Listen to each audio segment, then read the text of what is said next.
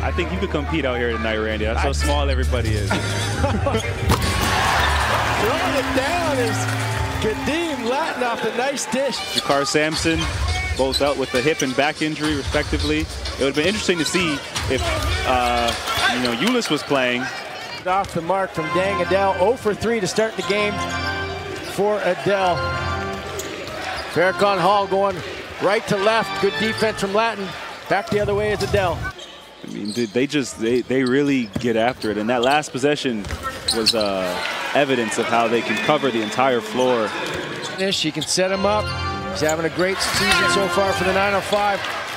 Hall is met at the rim. Adel the other way to Felder, who I thought he was going to shoot it instead. Swung it to Notice.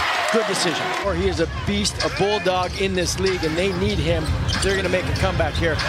Duane Notice making his presence felt off the glass. It slam.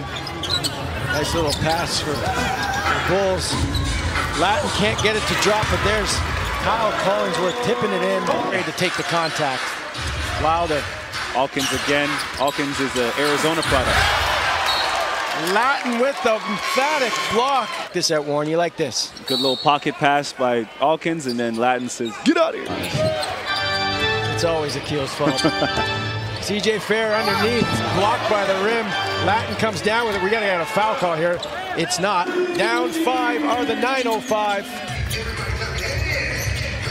And Khadeem Lattin, here we go. Down three now. Ute Abidius on him.